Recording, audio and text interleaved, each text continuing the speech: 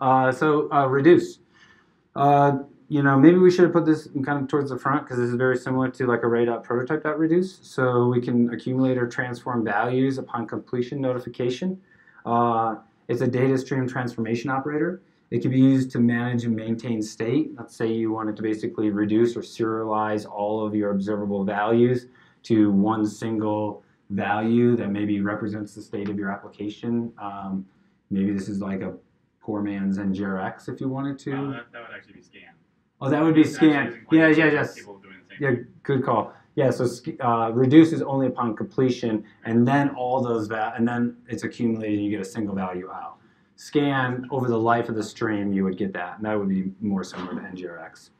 Uh, so this is like array.prototype.reduce, uh, and then uh, scan is kind of the streaming version of this. Uh, so let me just show you. Uh, I think these are the last two, so bear with me.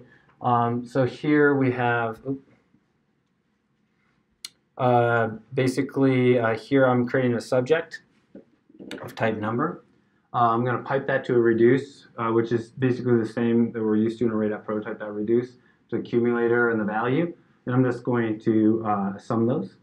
And then I'm going to subscribe and output that value. And then my subject is going to emit uh, one, two, and three next notifications with those values.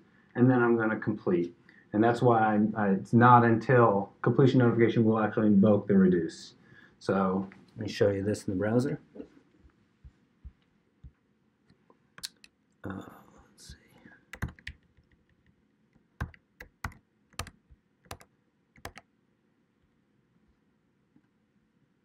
So six. Um, and so it's upon that completion, we get that single uh, summed value. Uh, if I go back over,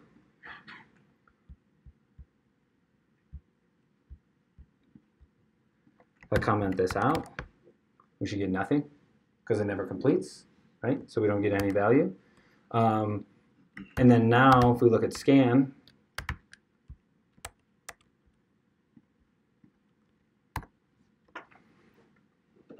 oh, here's the marble diagram for that. So we can see upon the completion notification, now we get uh, the sum of those, and then they also give it a seed value.